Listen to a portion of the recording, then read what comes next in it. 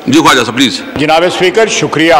मैं मैं बड़ा मेहरबानी है आपकी कि आपने इस माहौल में जहाँ पे अपोजिशन की, पाकिस्तान के अवाम की जबान बंदी करके आप जो है पाकिस्तान की माशी खुद मुख्तारी बेच रहे हैं। ये जनाब स्पीकर, इस पार्लियामेंट का, आपकी कुर्सी का it's a day of infamy ये शर्मसार हमारी तारीख में एक ऐसे दिन की हैसियत से जाएगा जिसमें सारी कौम शर्मसार हो रही है कि पार्लियामेंट क्या बिहेव कर रही है इस वक्त। साहब।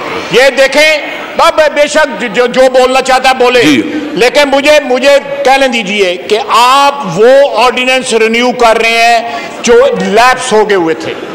जो एक्सपायर हो गए हुए थे ये अगेंस्ट द कॉन्स्टिट्यूशन है। आप जो है स्टेट बैंक का कंट्रोल जो है वो आईएमएफ को दे रहे हैं। आप जो है एक हज़ार बारह सौ या ग्यारह सौ अरब रुपए के टैक्सेस जो है वो जो है विदड्रॉ करके एग्जामेशन अवाम के ऊपर महँगाई का पहाड़ तोड़ रहे हैं। जनाब वाला, आप सिटीजन है। जनाब स्पीकर आप एक कॉमन सिटीजन भी हैं स्पीकर के अलावा। आप एक एमएनए भी हैं, आप एक कॉन्स्टिट्यूएंसी को रिप्रेजेंट करते हैं। खुदा के लिए पाकिस्तान की आवाम पे रैम करें। पाकिस्तान को ना बेचे पाकिस्तान के रुपए ना वसूल करें। आपने आपने तीन साल तीन साल यहाँ पे लूट मार की इजाज़त दी। अगर आपने लूट मार की इजाज़त ना दी होती दवाइयों वालों को चीनी को गंदम को तो आपको ये नए टैक्सेस ना लगाने पड़ते बजट ना लेना पड़ता। आपने लूट मार की इजाज़त अपनी एटीएम को दी इसलिए टैक्सेस असद उमर साहब प्लीज़ जी जी प्लीज़ वाइड अप कर लें जी Khwaja Sahab please wind up कर लें बोलने का हक तो दे। मैं पाकिस्तान के 22 करोड़ आवाम के, के बिहार पे यहाँ पे बोल रहा हूँ। मेरी आवाज़ ना बंद करें। मेरी आवाज़ ना बंद करें। पाकिस्तान को सरेंडर ना करें पाकिस्तान की खुद मुख्तारी को। जो मुल्क जो है माशी तौर पे गुलाम हो जाता है वो कॉलोनी बन जाता है।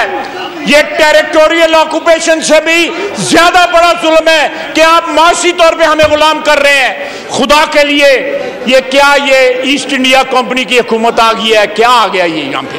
थैंक यू जी जनाब मैं मेरी बात तो सुने। आज इस पार्लियामेंट में तीन तीन इश्यूज़ के ऊपर आपकी चेयर को शर्मसार होना चाहिए। जनाब स्पीकर मैं अर्ज़ कर रहा था कि एक्सपायर्ड आप दो साल, ढाई साल पहले जो ऑर्डिनेंस एक्सपायर हुआ है, आज आप उसको रिन्यू कर सकते हैं। चाहे एक दिन का एक्सपायर हो, चाहे दो साल का एक्सपायर हो, आप उसको रिन्यू नहीं कर सकते। सुप्रीम कोर्ट की जजमेंट है और आर्टिकल 89 जो है, आइन का जो है, आपको पाबंद करता है कि आप रिन्यू नहीं करते। दूसरी बात, आपने स्टेट बैंक को जिस तरह गिरवी रखा है या बेच दिया है आईएमएफ के पास कर्जों के लिए। आप कहते हैं कि अपोजिशन का पीपल्स पार्टी और पीएमएलएन की वजह से हमें यह सारा कुछ करना पड़ रहा है। जब 2018 में आप नारे लगाते थे कि आप दूध और शहद की नहरें यहाँ पे बहा देंगे, नदियाँ बहा देंगे, शहद की नदियाँ नदियाँ बहा देंगे, हम 200 डॉलर बार 200 अरब डॉलर बाहर से लेके आएँगे 50 अरब डॉलर की रोज़ाना की आपके पास हमारी भी बैलेंस शीट थी, हमारे दौर की भी, कि पाँच साल में इकोनॉमी कहाँ पहुँची। आपके पास पीपल्स पार्टी की भी इकोनॉमी बैलेंस शीट थी। आपने वो बैलेंस शीट देखते हुए फिर भी वादे किए। ये इस हकूमत की फेलियर है। झूठ बोलते रहे हैं, झूठ बोलते रहे हैं पिछले साढ़े तीन साल। आवाम को आवाम को जिस तरह आपने चक्की में पीसा है महँगाई की। जनाब वाला, जनाब स्पीकर आपका हल्का गवाही देता है। केपी के सारे हल्के गवाही देते हैं कि आपने जुल्म किया है पाकिस्तान की आवाम पे और मजीद जुल्म करने आज जा रहे हैं। पाकिस्तान के 22 करोड़ आवाम में हम लोगों को 342 लोगों को यहाँ पे मुंतखब कर, करके भेजा है ताकि हम उनके मफादात का तहफ़ करें।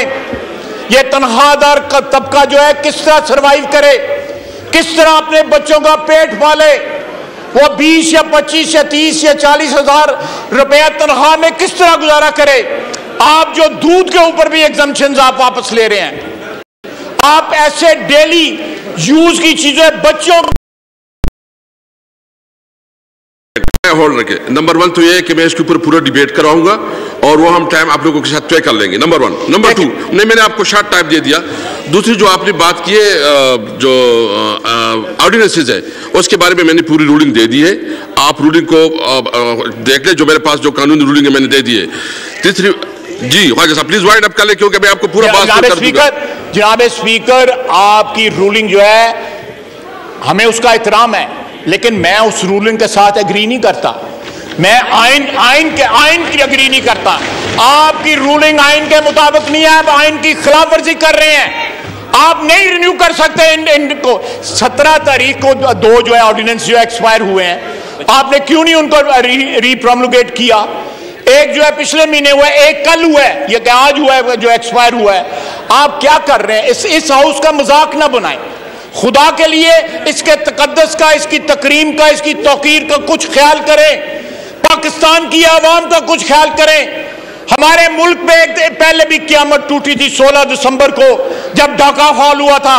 आज पाकिस्तान का मुआशी जो है सरेंडर हो रहा है।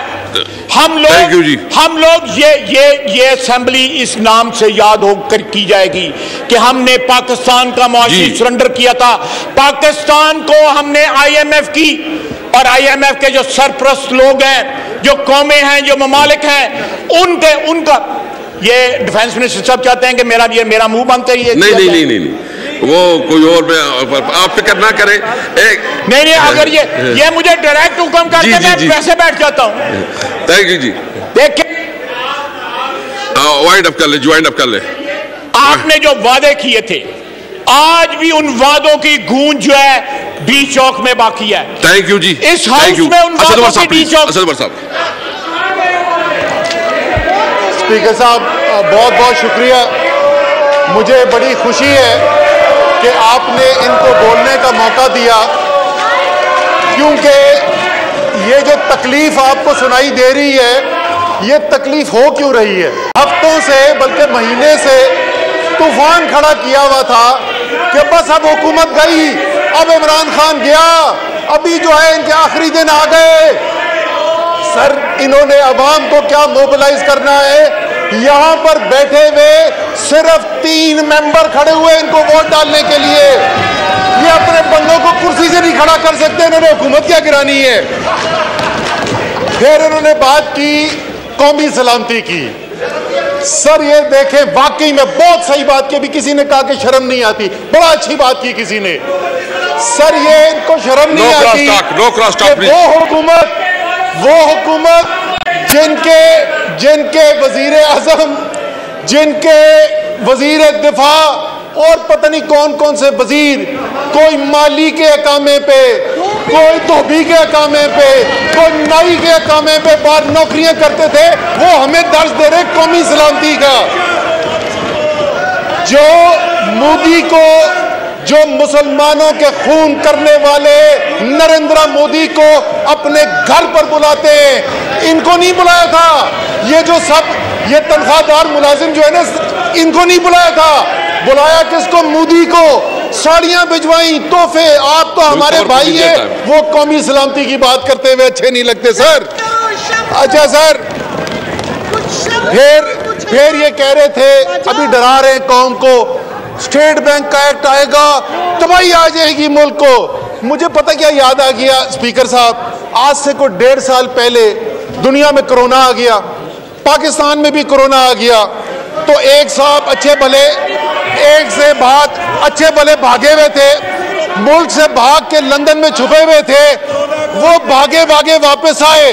अपना रेज्यूमे उन्होंने अपडेट किया जॉब एप्लीकेशन उन्होंने अपडेट की और इधर आके उन्होंने लाना शुरू कर दिया।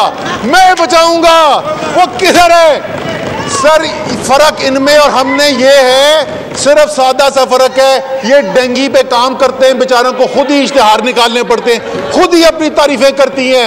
हम कोविड पे बात काम करते हैं वर्ल्ड हेल्थ फोरम हमारी तारीफ़ करता है वर्ल्ड इकोनॉमिक फोरम हमारी तारीफ़ करता है। Normal C index economics magazine का कहता है दुनिया में नंबर एक पाकिस्तान है दुनिया तारीफ़ करती है। फिर फिर इन्होंने बोला, सर, पाकिस्तान की आवाम, पाकिस्तान की आवाम क्या कह रही है? पिछले सर्वे के अंदर छियासी फ़ीसद पाकिस्तान ने कहा, छियासी फ़ीसद पाकिस्तान ने वफाकी हुकूमत ने कोरोना के अंदर अच्छी कारकर्दगी दिखाई है। ये कह रहे पाकिस्तान के अवाम